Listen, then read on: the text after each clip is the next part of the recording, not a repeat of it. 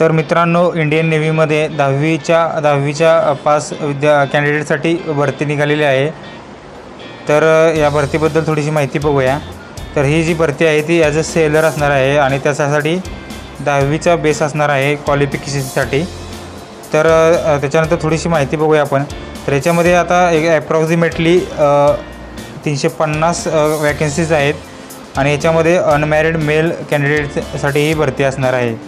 तर याच्यामध्ये educational qualification आपण बघूया थोडंसं. तर एक एज्युकेशन क्वालिफिकेशन आहे ते दहावी पास असणं गरजेचं आहे विद्यार्थी.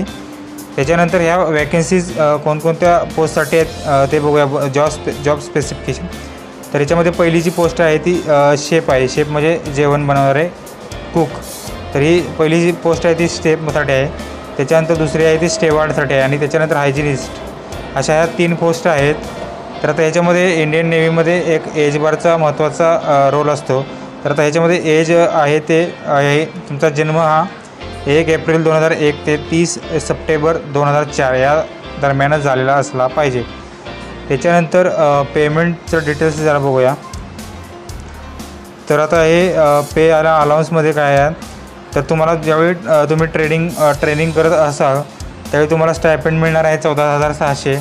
त्याच्यानंतर ट्रेनिंग पूर्ण झाल्यानंतर तुम्हाला या पे स्केलमध्ये किंवा बेसिकमध्ये तुमची जी रेंज असणार आहे बेसिकची ती एकवीस हजार सातशे ते एकोणीस सत्तर हजार शंभर.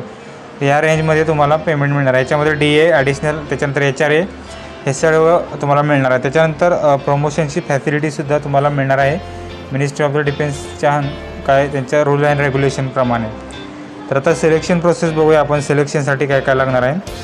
तर आता सिलेक्शन क्रायटेरिया काय असणार आहे तर तुमची पहिल्यांदा रिटर्न टेस्ट घेतली जाणार आहे.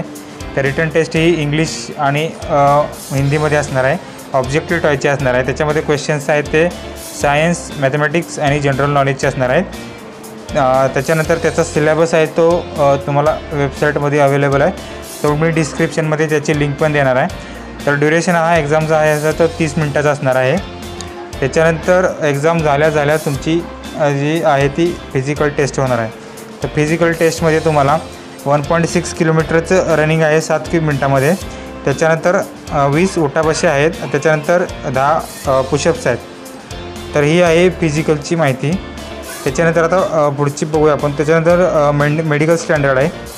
तर आता त्याच्यानंतर पुढची जी आहे ती तर याची ॲप्लाय कसं करायचं आणि कधीपासून हे ऑनलाईन ॲप्लिकेशन चालू होणार आहे ते बघूया आपण.